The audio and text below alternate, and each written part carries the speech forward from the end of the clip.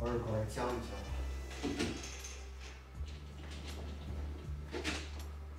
我这个装修啊，基本上忙叨叨一个多月，差不多到现在就装完了吧。嗯，可能很多网友还挺关心这个装修的哈。呃，我带着大家来简单看一看，因为很多网友想看一看的。我从一进门开始啊，进门进门这个地方右手就是餐厅，做了一开放式。我这个画儿很失败啊，我会换一幅。这个已经换了两副了，都不好看。就是一个小的开放式的厨房。这个厨房有些电器我介绍过，晚上了把窗帘关上了。这厨房我已经开过两次火了啊，还拍过一次视频。感觉这个角度还可以哈。然后这边进门左手就是客厅。客厅就是沙发电视为主，还是比较传统哈，弄了个电视，整一整一整个的电视墙，然后比较简洁，就是茶几也比较传统的，然后沙发背后选了一个画儿，因为这个是不规则的这个沙发，所以就选了一个侧侧边放的一个大画儿，然后简单做了一些什么小的落地灯啊，一些小装饰，就比较简单。然后这边呢是一个小餐桌，墙呢因为比较白，因为刷大白墙，还是用几幅画稍微装点了一下，就是比较简单。这个到时候东西一摆下来就乱了啊，会越来越乱。就这个画儿，这个角度我觉得，这个通过调整哈，感觉没有那么不协调了。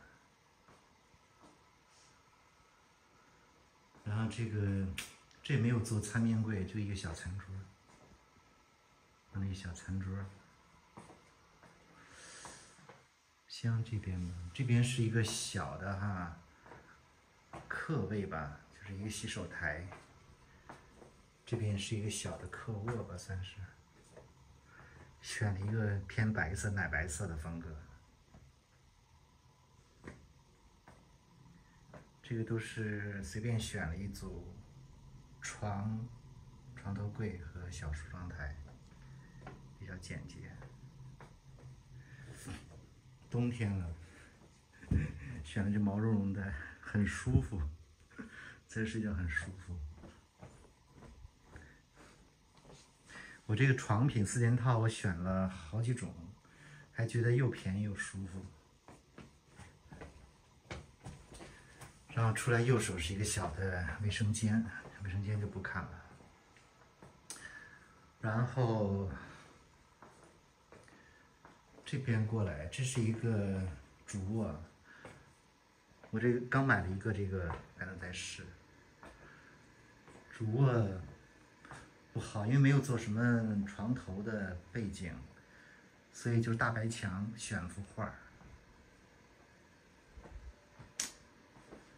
选了幅画凑合，反正就是床舒服，我这个床还比较舒服，这个床很舒服。我们在这看一看，反正关着窗帘晚上也无所谓光线。这边，这边拐过来有个卫生间，卫生间颜色有点偏灰了啊。这是这还差一个，这还差一个那什么？隔断，差个隔断，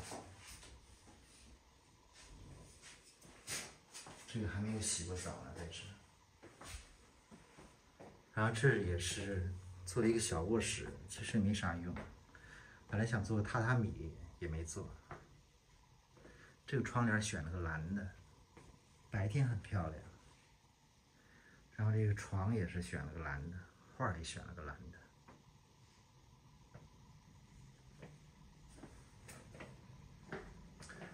然后这个房子没有怎么装，没想好，可能当个工作间，是吧？就是弄了个桌子，原来一个不用的小沙发放这儿了先，这个到时候再看看怎么弄的。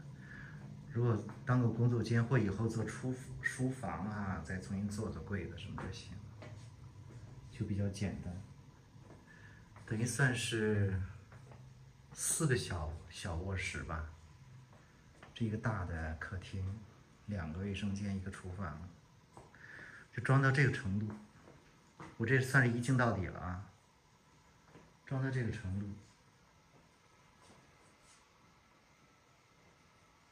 呃，预算是三十万，我没有算细哈，应该是超了，但超的也不算特别多，也不算很多啊。主要是后来这个家电啊，特别是厨房电器，我我还是觉得好一点，这个稍微比之前花的多一点。像我这个冰箱，这个冰箱是嵌入式的大概五千，然后这个就抽油烟机这一套啊，包括洗碗机。包括这个蒸烤一体机，这电器啊，包括这个管线机，还有里面一个燃气热水器，这是厨房的电器。厨房电器加起来其实还不少钱呢。然后家电就是洗衣机在阳台，这个大电视，这个电视九千吧。投影很便宜啊，投影就两千左右。然后沙发。这芝华士的沙发呀、床啊什么之类的，一万多。然后这个两个几两个小卧室的床，什么床头柜呀、什么梳妆台呀，一个也就三千吧一套，没多少钱。空调还有，空调这是一个，这算一个风管机，有点像那个小中央空调，这个是七千吧，七千多。然后四个屋的空调大概一万块钱吧。好像都说完了吧？对，基本就差不多这么多。有些小小摆件儿，就是想起来就买，觉得这空了，平衡一下。就像那个小小的落地灯，觉得那儿很空，摆花儿呢又不方便，就买了这个小灯，也不贵，好像四百多吧，网上抢的。